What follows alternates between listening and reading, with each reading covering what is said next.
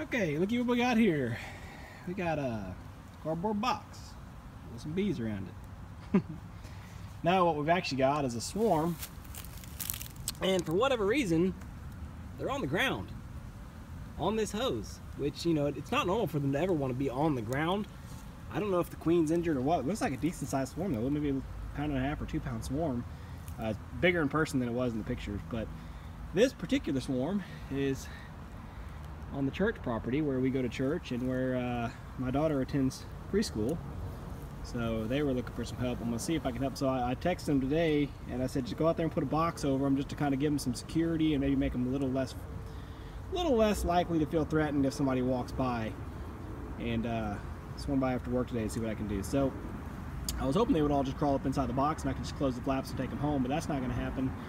Um, so what I'm gonna do now is take the box off, close the flaps, cut them a little, cut them a little access hole just like a nuc, and give them a little shot of uh, Swarm Commander in there, and hopefully at least get them to run into the box, and uh, then I'll swing back by later this evening and just pick up the box.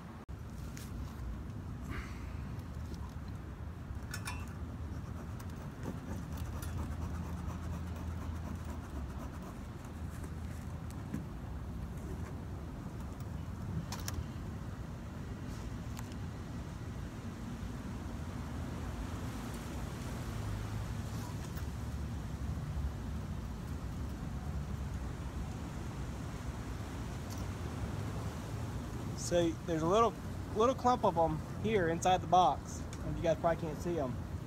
Little clump of them decided to start crawling up on the inside of the box, but not all of them. And so I'm just checking over that clump real quick, trying to see if the queen is in there. Of course, I don't have my cage, so what's it matter? Really, I just want to know if she's even here. Maybe this is a big old fat queenless swarm. It's not on this little clump. Okie dokie.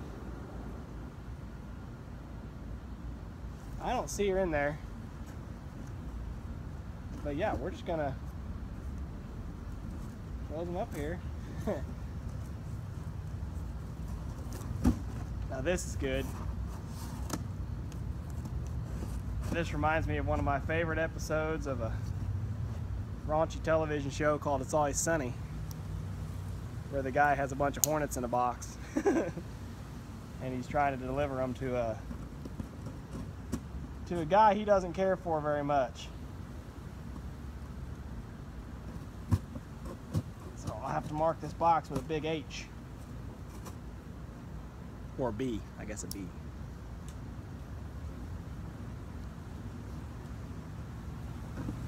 So,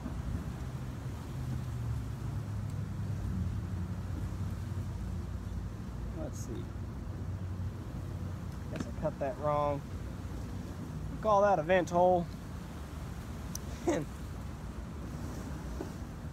cut their access hole on what was the top is now the bottom because I want them to be able to clump on the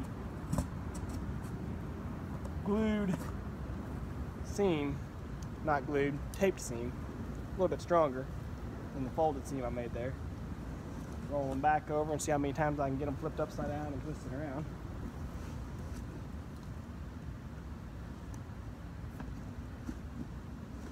One shot ought to do it. Oh yeah, that's got them happy. Now we'll just set this over here beside them.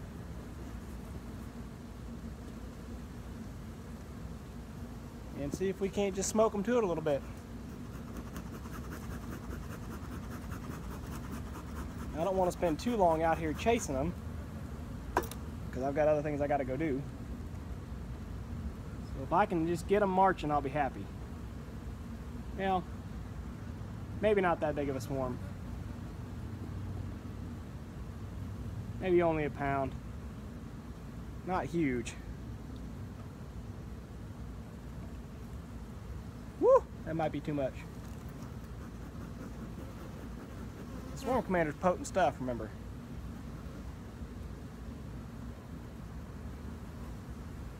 need to get them moving.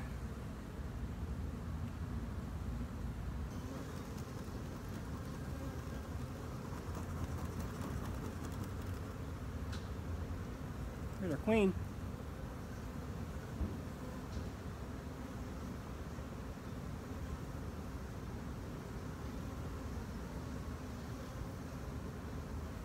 We do have a queen.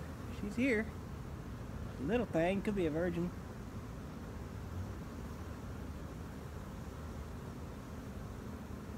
Lost her. I couldn't catch her. She knows I'm after her.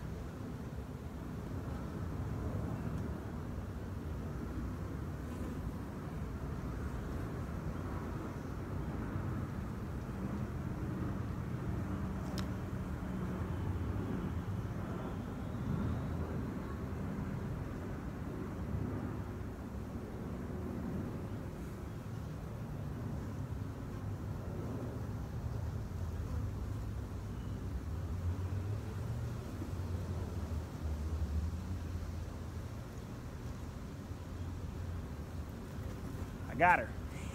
we'll go inside and see if I can't find a little cardboard box or something to put her in.